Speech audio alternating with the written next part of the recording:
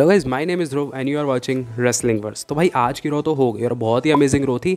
मतलब कुछ कुछ हमें अमेजिंग मूवमेंट्स हमें दिखाई दी जो कि रेसल मेनिया जैसे मूवमेंट्स होते हैं। बेसिकली हमें मैच दिखाई दिया हमें एज स्टाइल्स वर्सेस यहाँ पे रैंडी ऑर्डन का। दोनों फे, हमारे फेवरेट सुपरस्टार हैं और दोनों को लड़ते हुए देख के मज़ा आ गया।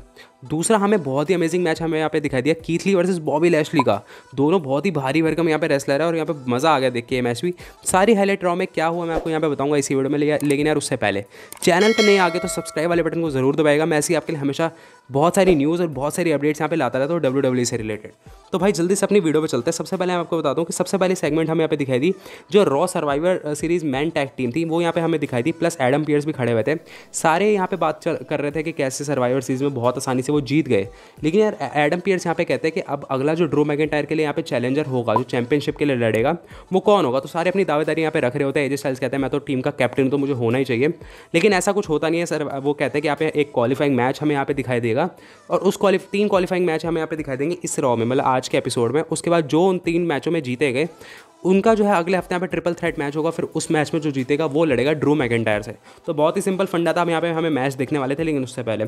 यहाँ पे हमें दिखाई दिया था New Day versus the Hurt Business का मैच और यहाँ पे थोड़ा अजीब सा मैच था, थोड़ी मतलब एंडिंग जो है अजीब सी हुई, यहाँ पे डबल काउंट आउट हो गया, पता नहीं क्या हो गया।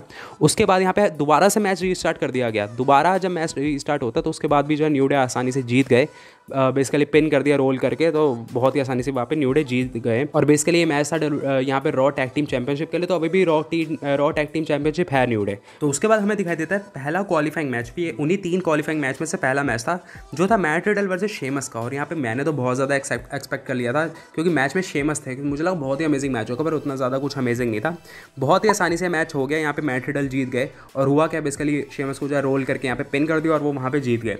तो यार ठीक ठाक ही मैच था मैं ऐसा भी नहीं कहूँगा कि बहुत ही बेकार था नॉर्मल सा मैच था ज़्यादा एंटरटेनिंग भी नहीं था उसके बाद हमें यहाँ पे दिखाई देता है फायर फ्लाई फन हाउस का यहाँ पे सेगमेंट होता है बेसिकली यहाँ पे एक फ्रेंडशिप यहाँ पे फ्रेंडशिप के ऊपर बेस था कुछ यहाँ पे सेगमेंट और जो यहाँ पे एक हमें फ्रॉक दिखाई दिया वो जो कि था फ्रेंडशिप वाला फ्रॉक अजीब सही कुछ कुछ सेगमेंट था जो कि होता ही एक्चुअल में अजीब सा इसलिए थोड़ा सा एंटरटेनिंग भी रहते हैं सेगमेंट में अगर आपको सही बताओ तो फायर फ्लाई सेगमेंट थोड़ा बहुत अब यहाँ पे मुझे ठीक ठाक लगने लगे पहले मेरे को भी बहुत अजीब लगता था और यहाँ पे वो यहाँ पे बात भी करते हैं कि एलेक्सा का यहाँ पे जो है आगे मैच होगा यहाँ पे निकी क्रॉस के अगेंस्ट तो उसके बारे में थोड़ी बहुत बात करते हैं तो वो सेगमेंट वहाँ पे भी खत्म हो जाता है।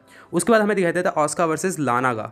और ऑस्का वर्सेस लाना इसलिए यहाँ पे हो रहा था क्योंकि ऑस्का कहते हैं कि लाना जो है यहाँ पे सोल सर्वाइवर है तो इसलिए जो है ऑस्का वहाँ पे उनके साथ जो है मैच करती हैं। और मैच जो है, हम सबको पता था कि ऑस्का वहाँ पे जीत जाएँगे आसानी से, लेकिन वो जीत जाती है, लेकिन कुछ अजीब होता है वहाँ पे। बेसिकली यहाँ पे शेना बेजलर और यहाँ पे नाया जैक्स जो है यहाँ पे कमेंट्री टेबल पर बैठी होती हैं, और वो जो है ऑस्का पे अटैक कर देती हैं, इसलिए जो है यहाँ पे डिस्कालिफिकेशन से वो जीत जाती हैं। तो ये तो हुई एक बात, लेकिन यहाँ पे होता गया कि उसके बाद जो है यहाँ पे शेना बेजलर और नाया जैक्स उनको उठा के यहाँ पे पटकने जा रही होती हैं टेबल के ऊपर, जो कि उनका फेवरेट काम है। लेकिन यहाँ पे उनको बचा लेती लाना, पता नहीं क्या हो जाता लाना को, उनको बचाने के बाद हमें यहाँ पे मतलब काफ़ी यहाँ पे लड़ाई वड़ाई होती है, उसके बाद हमें अलग एक मैच दिखाई देता है। Asuka and Lana versus Shayna Baszler है नाया जैक्स का, जो कि अपना में अच्छा मैच था। यहाँ पे मैच में क्या होता है, ऑस्का जो है यहाँ पे पिन कर देते हैं शेना बिजलर को वो लोग जो है जीत जाते हैं तो ये मैच भी यहाँ पे खत्म हो जाता है। अब अगला मैच हम यहाँ पे दिखा देते है केथली वर्सेस बॉबी लैशली का। बॉबी लैशली अगर मैच में है तो अमेजिंग यहाँ पे मूवमेंट्स होने थे और केथली मतलब बहुत ही बड़े बड़े ओपोनेंट्स तो यार ये मज़ेदार मैच होने वाला था। पर यार एक चीज़ मुझे इसमें बहुत ख़राब लगी कि यहाँ पे इंटर इंटरप्ट कर दिया एम ने और एम ने जो है अटैक कर दिया केथली के ऊपर। और इसी वजह से डिस्कालिफिकेशन से वो जीत गए केथली लेकिन यार मैं बहुत ज़्यादा एक्सपेक्ट कर था क्योंकि दोनों सुपरस्टार बहुत अमेजिंग है। तो यार अमेजिंग मूवमेंट होनी चाहिए था जो एम एम ने जो है खराब कर दिया, बिल्कुल। अगला मैच हम यहाँ पे दिखाई देते हैं निकी क्रॉस वर्सेज एलेक्सा का, जो कि मैंने आपको अभी फायर फ्लाई फन हाउस वाले सेगमेंट में भी बताया था कि उन दोनों का मैच होने वाला है, वो लोग बात भी करते हैं। तो एलेक्सा ने यहाँ पे आसानी से जो है जीत हासिल कर ली निकी क्रॉस के अगेंस्ट और वो बहुत ही आसानी से जीत गई। तो ये मैच मुझे ज़्यादा अच्छा नहीं लगा मतलब बहुत ही जल्दी यहाँ पे मैच खत्म हो गया। मुझे ऐसा लग रहा था बस उनको एक मैच यहाँ पे ऐड करना था तो उन्होंने वाला मैच ऐड कर दिया। एलेक्सा के लिए मुझे ऐसा लगता है कि कुछ बहुत ही बड़ा अपोनेंट बहुत ही बड़ी अपोनेंट को यहाँ पे दी जाए तो सही रहेगा यार एलेक्सा एक बड़ी सुपरस्टार है। उसके बाद हमें मेन इवेंट में यहाँ पे दिखाई देता है थर्ड क्वालिफाइंग मैच जिसके मैं आपको यहाँ पे बात बता रहा था कि तीन मैच होंगे। उसका ये थर्ड क्वालिफाइंग मैच था बेसिकली हमें यहाँ पे दिखाई देता है AJ Styles versus Randy Orton का। और दोनों भाई हमारे फेवरेट रेसलर है, दोनों अमेजिंग रेसलर हैं और बहुत ही बड़े सुपरस्टार है। तो इन दोनों को मैच में देख के तो मज़ा आ गया। लेकिन यार, एक प्रॉब्लम मुझे यहाँ पे भी लगी और यहाँ पे प्रॉब्लम लगी इंटरप्ट वाली। यार, ये इंटरप्ट वाली प्रॉब्लम डब्ल्यू डब्ल्यू सालों से देता है और वो अच्छे खासे मैच का जो है काम खराब कर देता है। वो पहले ऐसे मैच जो है ख़राब करता है और उसके बाद सेम मैच आगे जाके एक बड़े इवेंट में दिखा देता है। तो ये तो भाई अजीब ही है। तो यहाँ पे भी सेम चीज़ होती है। यहाँ पे जीत रहा होता है, यहाँ पे रैंडी ऑटन और बीच में क्या होता है कि यहाँ पे फ़ील्ड आ जाते हैं। फ़ील्ड के वाले लाइट्स वगैरह और म्यूज़िक वगैरह बचता है। तो ऐसे रैंडी ऑटन को लगता है कि मतलब फ़ील्ड आ गए हैं तो उसके बाद यहाँ पे रैंडी ऑटन का थोड़ा तो ध्यान भटकता है। लेकिन उसके बाद वो वापस मैच में जो है कम कर रहे होते हैं। तो दोबारा से दूसरी बार यहाँ पे फ़ील्ड का म्यूज़िक बचता है। और इस बार जब यहाँ पे लाइट्स ऑन होती है तो रैंडी ऑटन देखते हैं कि उनके बिल्कुल पीछे ही फ़ील्ड खड़े हैं। और उनके बाद तो भैया उसके बाद ऐसा डर लग जाता है रैंडी ऑटन का, मुझे नहीं पता क्या हुआ एकदम से। रैंडी ऑटन की ऐसी हालत ख़राब हो गई और उसके बाद जो है एजे एजेस ने मौका का फ़ायदा उठा लिया, जो कि यार वो फिनॉमिनल वन है। उन्होंने यहाँ पे यही किया, मौके का फ़ायदा उठाया। फिनोमिनल फोर हम यहाँ पे लगा दिया और आसानी से जो है यहाँ पे एज स्टाइल्स जीत गए। तो भाई ठीक ठाक ही मैच था अब यहाँ पे इसमें भी इंटरप्ट कर दिया। मेरे को समझ नहीं आता डब्ल्यू डब्ल्यू क्यों बीच बीच में इंटरप्ट करवाता है। मैच का थोड़ा सा मज़ा खराब हो जाता है बट ठीक है।